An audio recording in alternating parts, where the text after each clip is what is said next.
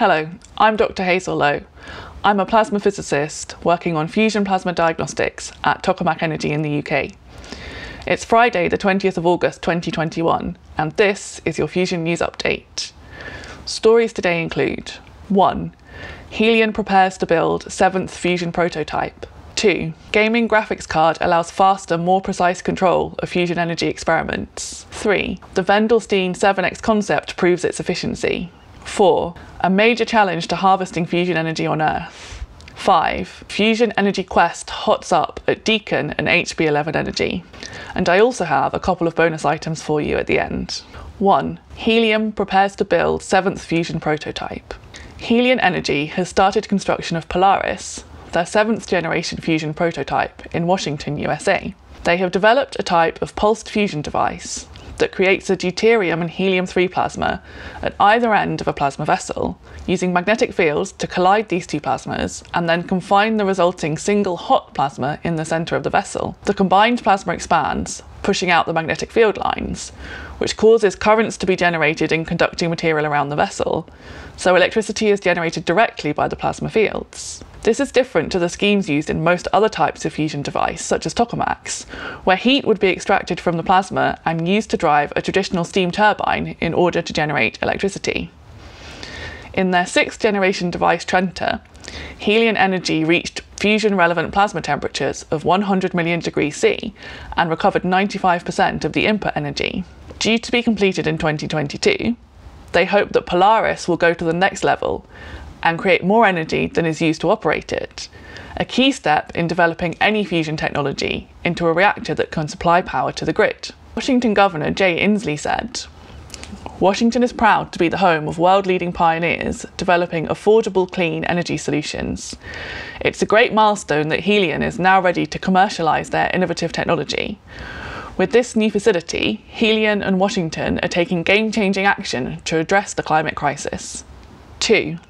Gaming graphics card allows faster, more precise control of fusion energy experiments. Researchers at the University of Washington have developed a method that harnesses advances in the computer gaming industry to improve control of fusion plasmas.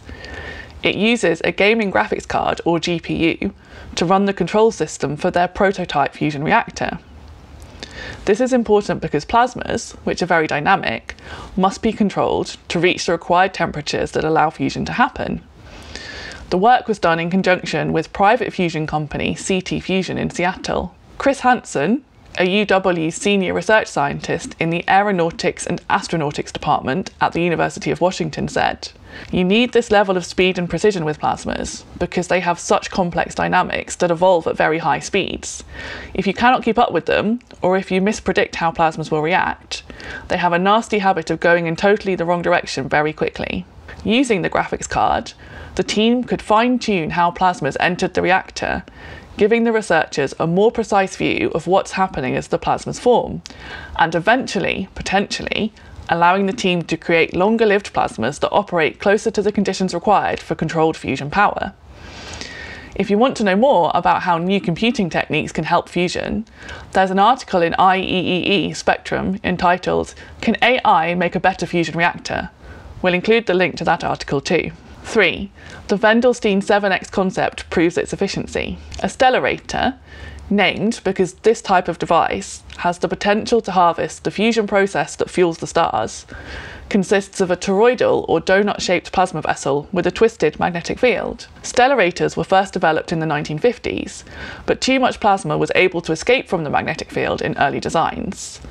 Since then, the shape of the magnetic field in stellarators has been tuned to prevent these losses, with a view to building a viable fusion reactor. In 2018, the Wendelstein 7X reactor at the Max Planck Institute for Plasma Physics in Germany set the Stellarator world record for the fusion product of density, temperature, and confinement time at a high plasma temperature.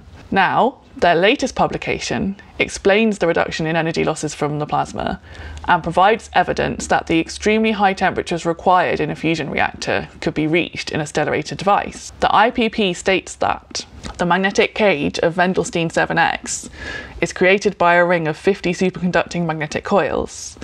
Their special shapes are the result of sophisticated optimization calculations, With their help, the quality of plasma confinement in a stellarator is to reach the level of competing tokamak type facilities. 4. A major challenge to harvesting fusion energy on Earth. Regular viewers of the Fusion News channel will be familiar with the concept of a tokamak, a type of fusion device in which a plasma consisting of a gas of charged ions and electrons is contained in a donut or cored apple shape by applying strong magnetic fields. One problem that can occur in a tokamak plasma is the generation of high energy electrons, known as runaway electrons. These runaway electrons can be produced by disruptions in the plasma and can cause significant damage to the plasma vessel. In order to build a stable, reliable tokamak that could be used for power generation, the behaviour of these runaway electrons must be understood and controlled. Researchers at the Princeton Plasma Physics Laboratory have deployed a multi energy pinhole camera on the MST tokamak at the University of Wisconsin, enabling them to study the birth, exponential growth, and saturation of runaway electrons. A big step forwards in the mission to control this phenomenon. PPPL physicist Luis Delgado Aparicio, who led the experiment that detected the early runaways on MST, explained that we need to see these electrons at their initial energy rather than when they're fully grown and moving near the speed of light. The next step is to optimize ways to stop them before the runaway electron population can grow into an avalanche. 5. Fusion Energy Quest hots up at Deakin and HB11 Energy. The Institute for Frontier Materials at Geelong's Deakin University in Australia has just received around $570,000 in Australian Research Council linkage grants to work with HB11 Energy Holdings to explore the safe energy storage potential of boron nitride nanosheets. HB11's fusion approach uses an extremely intense ultra short laser pulse to accelerate hydrogen ions, or protons, into a target rich in boron 11, while a second laser generates a high magnetic field used to keep the protons confined. This increases the chance that they will interact with the boron 11. The process is expected to generate energetic helium ions. The intention is the charge from the helium ions will be collected at the vessel wall directly, generating electricity, rather than relying on extracting heat from the plasma to run a conventional steam turbine. Anticipated outcomes of their research program include a new H11B nanomaterial with high hydrogen storage capacity, a new method for the synthesis of boron nitride nanosheets, and a deep understanding of the mechanisms of hydrogen storage and the proton boron fusion reaction. And now for a few extra items.